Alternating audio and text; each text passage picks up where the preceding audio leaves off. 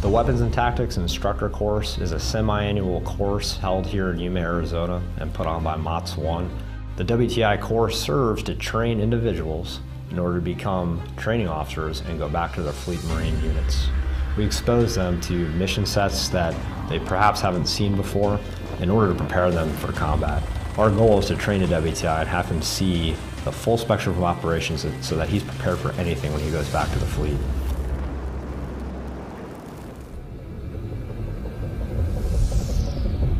WTI is important to the Marine Corps because of the product that it produces.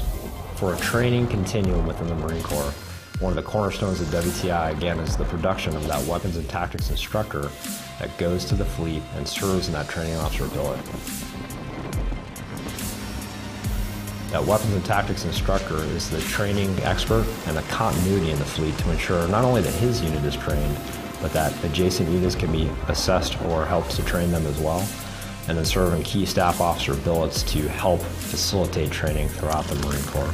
While it is a very aviation-centric exercise and it's focused on producing weapons and tactics instructors for fleet aviation units, we also provide a number of other venues for units to train.